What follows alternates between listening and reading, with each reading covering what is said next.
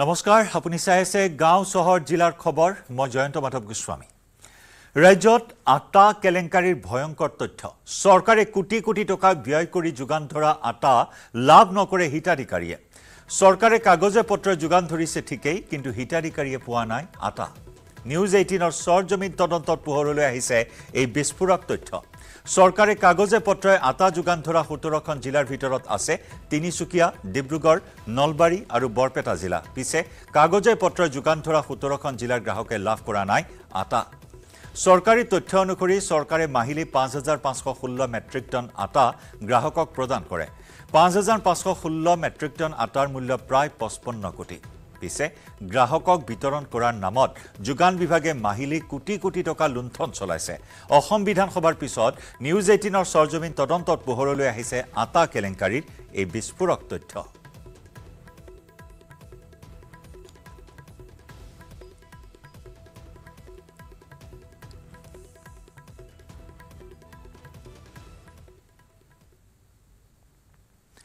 নগাঁও জিলাৰ পাথৰী সমবায় সমিতিৰ অন্তৰ্গত বিভিন্ন সুলভ মূল্যৰ দোকানসমূহৰ গ্ৰাহকে নিয়মীয়াভাৱে পোৱা নাই আটা। কোনোবা মাহতহে আটা লাভ কৰে দোকানীসমূহে। হিতাধিকাৰীৰ নামত প্ৰতিমাহে কেন্দ্ৰীয় চৰকাৰে আটা যোগান ধৰাৰ পাছতো ক'ত অন্তৰ্ধান হয় কেন্দ্ৰৰ পৰা আবণ্টিত হোৱা আটা সেয়াহে এতিয়া ডাঙৰ প্ৰশ্ন হিচাপে বিবেচিত হৈছে। আগবঢ়াইছোঁ আমাৰ সতীৰ্থ সাংবাদিক ভাস্কৰ জ্যোতি শইকীয়াৰ ৰিপৰ্ট। চৰকাৰৰ খাদ্য আৰু অসামৰিক যোগান বিভাগে গ্ৰাহকসকলক বিভিন্ন খাদ্য সামগ্ৰী যোগান ধৰি আহিছে। বিশেষকৈ যিসকল ৰেচন কাৰ্ডযুক্ত গ্ৰাহক সেইসকলক বিভিন্ন খাদ্য সামগ্ৰী প্ৰদান কৰি আহিছে। কিন্তু আচলতে কি কি খাদ্য সামগ্ৰী গ্ৰাহকসকলে পাইছে যিসকল যিসমূহ সুলভ মূল্য দোকানৰ পৰা কি কি খাদ্য সামগ্ৰী আচলতে পাইছে তাক আমি জানিবলৈ আজি উপস্থিত হৈছোঁহি চুটোহাবৰ পঞ্চায়তৰ হাজিপাৰ অঞ্চলত আৰু এই পাথৰী সমবায় সমিতিৰ অন্তৰ্গত যিখন দোকান আছে আমি তাত আহি উপস্থিত হৈছোঁহি আৰু ইয়াতে ইতিমধ্যে আমি দেখিবলৈ পাইছোঁ যে চাউল দি আছে। কিন্তু আৰু কি কি সুবিধা আচলতে গ্ৰাহকসকলে ইয়াৰ পৰা পায় সেয়া আমি জানিব বিচাৰিম। যিহেতু যিহেতু এইখন সুলভ মূল্যৰ দোকানত বৰ্তমান চাউল দি থকা দেখিবলৈ পোৱা গৈছে। বাইদেউ আপোনালোকে এইখন দোকানৰ পৰা কি কি পায় ইয়াৰ পৰা আমি ইয়াৰ পৰা খালি চাউল আটাই পাই আছো। আটাওতো মাজে মাজে পাওঁ। আটা সদায় মা- প্ৰতিমাহে নাপায় নাই প্ৰতিমাহে নাপাওঁ আৰু নিমখ পায় নে নাপায়? নাই নিমখ নাপাওঁ আজিলৈকে নিমখ পোৱা নাই আটাটোতো প্ৰতিমাহে আহে আপোনালোকৰ আমি যোৱা মাহতো পোৱা নাই। তাৰ আগতে পাইছিলো। তো মাজে মাজে আটাও নাপাওঁ কেতিয়াবা গেপ যায়। কিন্তু নিমখটো আমি পোৱা নাই আজিলৈকে কিন্তু চৰকাৰে কৈছে যে আটা নিমখ প্ৰতিমাহে আচলতে দিয়ে কিন্তু সমবায় দোকানত। নাই নাই নাপাওঁ দোকানী আছে তেওঁৰ লগত কথা পাতিব বিচাৰিম। দাদা আপোনাৰ কিমান গ্ৰাহক আছে ইয়াতে? গ্ৰাহক কনজিউমাৰ ছশ তেইছ। ছশ আপোনাক এ, যিহেতু হয়, পাথৰী সমবায় পাঁচশ আপোনাক আটাটো প্ৰতিমাহে দিয়ে যোগান ধৰে নে? প্ৰতিমাহে যোগান ধৰে। মাজে মাজে গেপ যায় আৰু। কিন্তু এতিয়া যিসকল আপোনাৰ গ্ৰাহক তেখেতসকলে কৈছে প্ৰতিমাহে আচলতে নাপায়। এই কেতিয়াবা গেপ পায় কেতিয়াবা নাপায় আৰু। যোগান নাপায় চাগে। যে- যেনেকে যোগান পাওঁ তেনেকে দি থাকোঁ আৰু। আৰু নিমখটো? নিমখো নাপাওঁ আমি। নিমখ আজিলৈকে পোৱা নাই? নাই। চেনি নিমখ একো একো নাই নাপাওঁ নহয়। আগতে কেৰাচিন হৈছিলে চেনি দিছিলে চেনিও নাই নিমখো নাই কেৰাচিন নাই। আমি পালেহে ক'ম আমাৰ আটাটো মাজে মাজে মা- আমাৰ মা- মাজে মাজে পাওঁ। আমাৰ দোকানী দিলেহে দোকানী আমাক দিব। দো- দোকানী দিলে আমি পাম পাম ক'ত? সেইটো সেইটোৱে কথা। দোকানীৰ দুখ নাই। অ দোকানী দুখ নাই। জেগাৰ পৰা যদি নাহে বস্তুটো তেখেতে ঘৰৰ পৰা দিব নোৱাৰিব নহয়। আছিলে গ্ৰাহকসকল আচলতে যি সুলভ মূল্যৰ দোকানত মই উপস্থিত আছোঁ সুলভ মূল্যৰ দোকানৰ গ্ৰাহকসকল ৰেচন কাৰ্ড প্ৰাপ্ত গ্ৰাহকসকল। আৰু তেওঁলোকে কৈছে যে চাউল তেওঁলোকে প্ৰতিমাহে পায় কিন্তু তাৰ বাদে আটা কেতিয়াবা কেতিয়াবা পায়। প্ৰত্যেক মাহে নহয় আৰু নিমখ কেতিয়াও পোৱা নাই কেৰাচিন তেলো আগতে পাইছিল এতিয়া নাপায়। আৰু আচলতে যিসমূহ বস্তু অসম চৰকাৰৰ যোগান বিভাগৰ ফালৰ পৰা খাদ্য অসামৰিক যোগান বিভাগৰ ফালৰ পৰা কাগজে পত্ৰই পঠিওৱা দেখুওৱা গৈছে সেই বস্তুসমূহ আচলতে ক'ৰ পৰা ক'ত গৈছে ক'লৈ নাইকিয়া হৈছে সেয়া এতিয়া এক ডাঙৰ প্ৰশ্ন। বাক্সাতো সংঘটিত হৈছে আটা কেলেংকাৰী। কেন্দ্ৰীয় চৰকাৰে যোগান ধৰা আটা নাপায় হিতাধিকাৰীয়ে। বি টি আৰৰ চাৰিখন জিলাৰ বাবে ৰাজ্য চৰকাৰে আবণ্টন দিয়ে চাৰিশ একচল্লিছ মেট্ৰিক টন ঘেঁহু। কিন্তু সমবায় সমিতিসমূহে ৰেচন কাৰ্ডৰ গৰাকীক নিদিয়ে আটা। শেহতীয়াভাৱে জানিব পৰা অনুসৰি চলিত বৰ্ষত বাক্সাৰ দুই একোখন সমবায় সমিতিৰ এজেণ্টে গ্ৰাহকক প্ৰতিখন কাৰ্ডৰ বিপৰীতে যোগান ধৰিছে মাত্ৰ তিনিশ গ্ৰাম আটা। এখন কাৰ্ডৰ বিপৰীতে মাত্ৰ তিনিশ গ্ৰাম আটা প্ৰদান কৰা কাৰ্যই এতিয়া প্ৰতিক্ৰিয়াৰ সৃষ্টি কৰিছে। আজি কেইমাহমান আগলৈকে কেৱল চাউলকেইটাৰ বাহিৰে বেলেগ একো বস্তু যোগান ধৰা আমি দেখা পোৱা নাছিলোঁ। কিন্তু আজি তিনি চাৰিমাহমান আগৰ পৰা আটা দিয়া বুলি আমি গম পাইছোঁ বা আনিছোঁ আমি আটা নানা নহয়। কিন্তু আচলতে এবাৰমানহে আনিছোঁ কাৰণ আটাখিনি এজেণ্টবিলাকে দিয়ে ঠিকে নিদিয়া বুলি আমি ক'ব নোৱাৰোঁ। কিন্তু কথাটো হ'ল পাঁচ টকাৰ বিনিময়ত মাত্ৰ তিনিশ গ্ৰাম আটা এখন কাৰ্ডৰ বিপৰীতে। আৰু কাৰ্ডখনত হয়তো কিছুমান কাৰ্ডত এনেকুৱা দহ বাৰজন পৰিয়াল থকা মানুহো আছে বা ছয় সাতজন থকা আছে। এজন মানুহৰে নোকোলাই আচলতে তিনিশ গ্ৰাম আটা এক মাহত তাকো গতিকে ইমান যে ঘেঁহু যোগান ধৰা বুলি কৈছে এইবিলাক ক'ত গৈছে আচলতে? চৰকাৰে উচিত তদন্ত কৰিব লাগে। আগতে পোৱা নাই। তিনিবাৰে পালোঁ।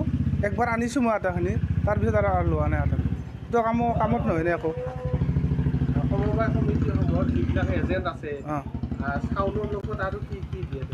চাউলৰ লগত চাউলে দিয়ে আৰু আটাই দিয়ে আৰু বেলেগ নিদিয়ে। ইফালে কৰিমগঞ্জৰ গ্ৰাহকেও বিগত দহ বছৰত কেৱল মাত্ৰ এবাৰহে আটা লাভ কৰিছে। ইয়াৰ আগে পিছে কেতিয়াও সমবায়ৰ দোকানৰ পৰা আটা যোগান ধৰা হোৱা নাই।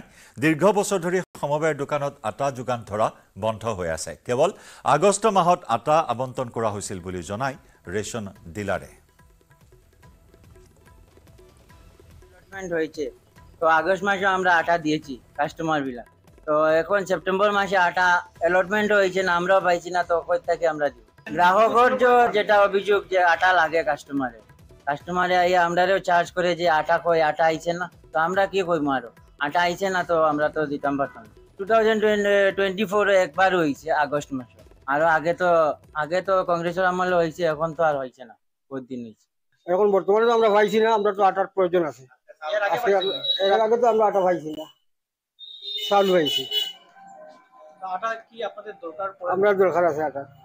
আপনারা আটা পান নাকি? প্রতি মাসে? না এই মাসে পাইছেন। কোন মাসে? গেছে আমরা কোনোদিন কাটা পাইছি গত মাসে পাইছেন? না পাইছি পাইছি বল তারা অন্য মাসে পাইছি আমরা পাইছি। ভাইয়া পাইছি ছেড়ে গেছে। মানে এগুলো কবে থেকে? ডিব্ৰুগড়ৰ ৰাজপথত গণবিক্ষোভ। প্ৰতিবাদৰ বাবে ওলাই আহিল বত্ৰিছটাকৈ জাতীয় জনগোষ্ঠীয় সংগঠন। মূলতঃ খিলঞ্জীয়াৰ ভূমিৰ অধিকাৰ তথা অনা অসমীয়া খিলঞ্জীয়াৰ মাটি ক্ৰয় ব্যৱসায় হস্তগত কৰাৰ বিৰোধিতাৰে সাব্যস্ত হয় এই প্ৰতিবাদ।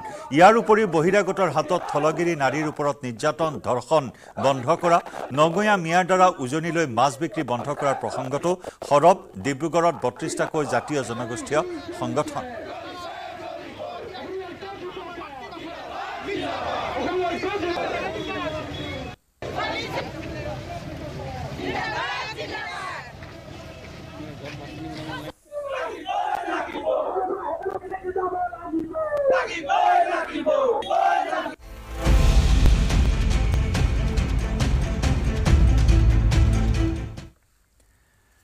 কংগ্ৰেছত কোনে কৰিছে পেৰাশ্বুট লেণ্ডিং?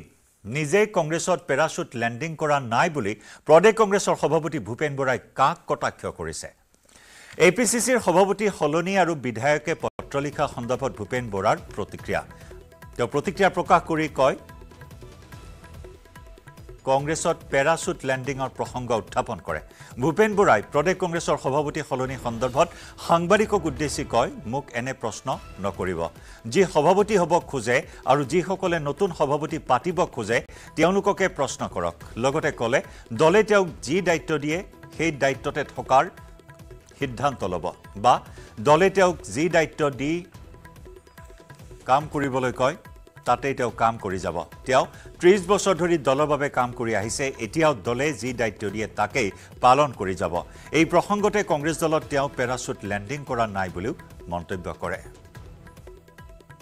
সভাপতি সভাপতি সভাপতি মই এইটো কৈ দিছোঁ। যিসকলে সভাপতি হ'ব বিচাৰে বা কোনোবাই ভাঙিব বিচাৰে তেওঁলোকক সুধিম মই একদম সদায় দলৰ প্ৰতি অনুগত্যশীল হৈ দলৰ কাম কৰি যাম। আৰু যিদিনাখন ক'ব যে ভূপেন বৰা আজি তোমাৰ কাৰ্যকাল শেষ সেইদিনাখন য'ত যি কাম থাকিব সেই কামত লাগিম মোক মোক এইটো আপোনালোকক মই অনুৰোধ কৰিছোঁ যে মোৰ মোক যদি সভাপতি থাকিব নাথাকে সোধে I am not authority of the A P C C president post. মোক সভাপতি দি থৈছে দলে কাম কৰিবৰ কাৰণে। মই কাম কৰি আছোঁ। আৰু যেতিয়া দলে মোক ক'ব যে আপুনি নেলাগে মোৰ নেলাগে।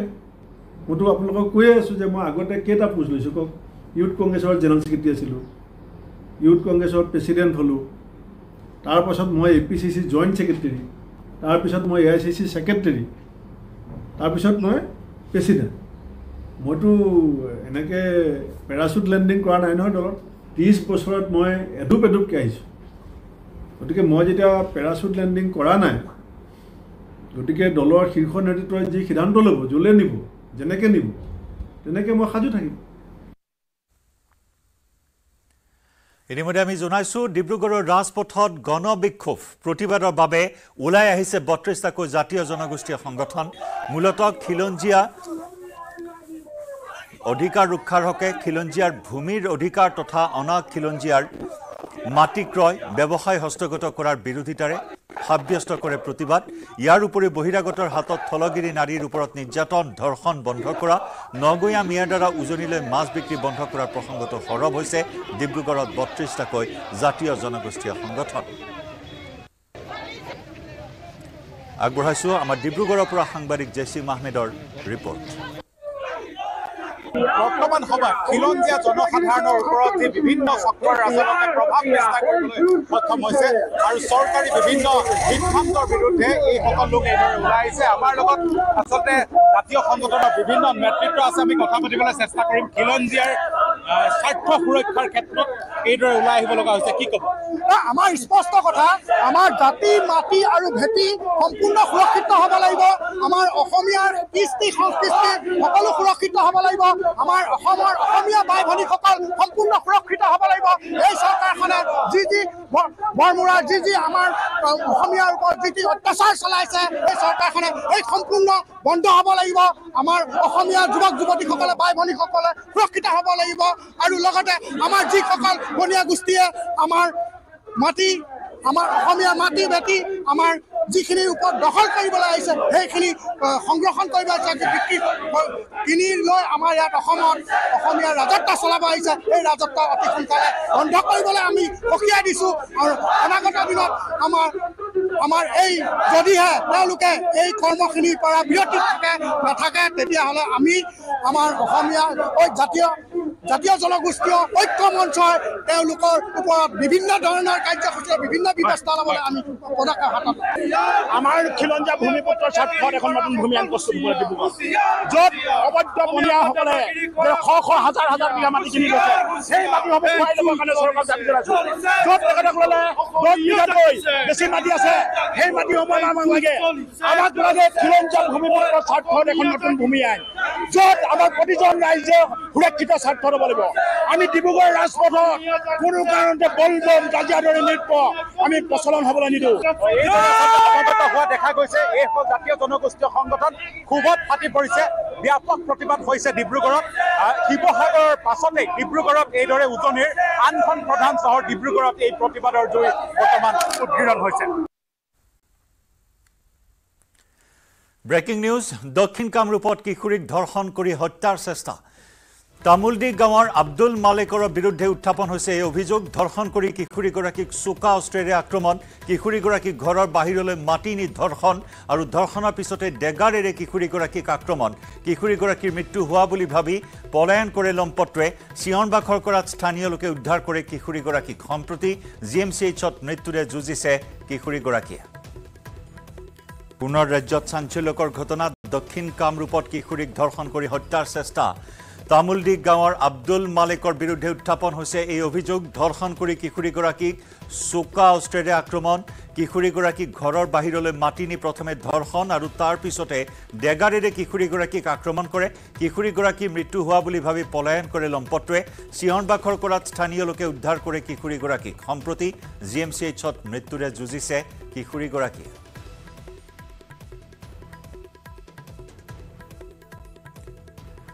আমি অধিক খবৰ লাভ কৰিবলৈ সংযুক্ত হৈছোঁ আমাৰ স্থানীয় সংবাদদাতা আবুল কালাম আজাদৰ সৈতে। আবুল এই চাঞ্চল্যকৰ ঘটনা সন্দৰ্ভত শেহতীয়া আৰু কি খবৰ আছে?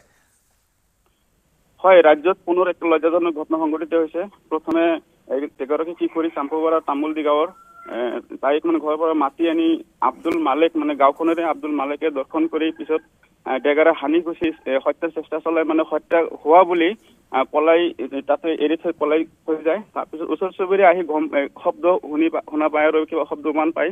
চুবুৰীয়া লোক আহি মুমূৰ্ষ অৱস্থাত কিশোৰীগৰাকী উদ্ধাৰ কৰি লগে লগ চিকিৎসা মহাবিদ্যালয় কি জি এম চিত প্ৰেৰণ কৰে। আৰু বৰ্তমান খুব সংকটজনক অৱস্থাত কিশোৰীগৰাকীয়ে মানে মৃত্যুৰ সৈতে যুঁজি আছে। সমগ্ৰ ইয়াৰ দল সংগঠন সমগ্ৰ ধিক্ষাৰ জনাইছে। এই ঘটনাৰ লজ্জাজনক ঘটনা ৰাজ্যত যেনেকুৱা অব্যাহত আছে এনেকুৱা যেন এটা প্ৰতিযোগিতা যেন চলি আছে। লম্পটটো কৰায়ত্ব কৰাৰ বাবে বৰ্তমান আৰক্ষী কি ধৰণৰ তৎপৰতা? হয় আৰক্ষীয়ে পুনৰ তৎপৰতা আৰম্ভ কৰিছে কিন্তু বৰ্তমান যোৱা নিশা এই ঘটনা সংঘটিত দৰ্শনকাৰী পলায়ন পলায়ন কৰিছে। যাৰ কাৰণে বৰ্তমান আৰক্ষীয়ে একো সংসূত্ৰ পোৱা নাই কিন্তু এ, ত- তদন্ত অব্যাহত ৰাখিছে আৰক্ষীয়ে বৰ্তমান পৰ্যন্ত। আৰু বিভিন্ন দল সংগঠন স্থানীয় লোকে ইয়াৰ উচিত মানে শাস্তিৰ বাবে দাবী উত্থাপন কৰি আছে বৰ্তমান পৰ্যন্ত। হয় ধন্যবাদ।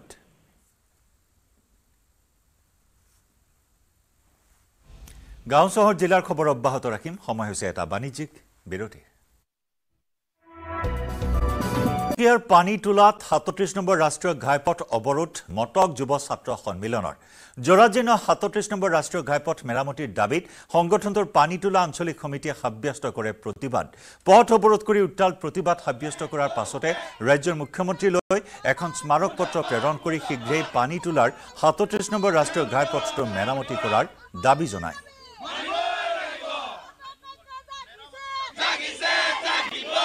আগবঢ়াইছো আমাৰ সাংবাদিক উপাসনা বৰুৱা গোস্বামীৰ প্ৰতিবেদন। এই মুহূৰ্তত মই উপস্থিত আছোঁ তিনিচুকীয়াৰ পানীতলাত।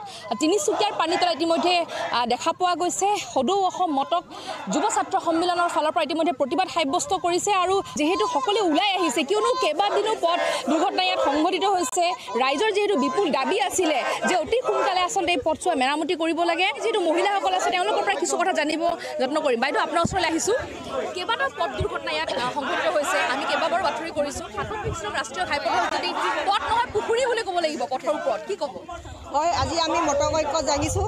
আমাৰ এইটো ৰাষ্ট্ৰীয় সাতত্ৰিছ নং ঘাইপথ আমাৰ বিশেষকৈ মানে ডিব্ৰুগড় মেডিকেল কলেজখন আমাৰ এইফালেদি অহা যোৱা কৰিবলগীয়া আমাৰ বিশেষ মানে এম্বুলেঞ্চৰ ক্ষেত্ৰত আমাৰ বহুত যান জঁটৰ হৈছে। এদিন নহয় দুদিন আমি ভাবি আছোঁ আজি ভাল হ'ব কালি ভাল হ'ব এনেকৈ কৰি কৰি আমাৰ আজি মাহ মাহ দিন পাৰ হৈ গৈছে। কিন্তু আমাৰ এম মিনিষ্টাৰ এম এল এবিলাক ডাঙৰ মানুহবিলাক যেতিয়া এইফালে অহা যোৱা কৰিবলৈ হয় খন্তেক মানে ইটা বালি দি দুদিনমানৰ কাৰণে মেৰামতি কৰি দিয়ে। তাৰপাছত আকৌ আগৰ দৰে পৰিস্থিতি হয়।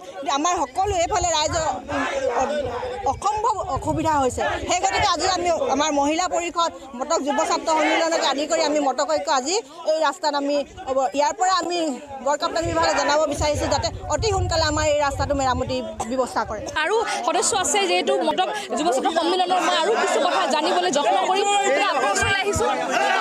এয়া ৰাস্তা নহয় গাত পুখুৰী ক'ব লাগিব। আচলতে এই পৰিবহণ বিভাগে মীন পানলৰ লগত জড়িত হৈ এই সাতত্ৰিছ নম্বৰ ৰাষ্ট্ৰীয় ঘাইপথত মাছৰ পোনা মেলাৰ ব্যৱস্থা গ্ৰহণ কৰিবৰ বাবে আমি আহ্বান জনাইছোঁ। ইয়াৰে সৈতে সময় হ'ল গাঁও চহৰ জিলাৰ খবৰৰ পৰা বিদায় লোৱাৰ। নমস্কাৰ।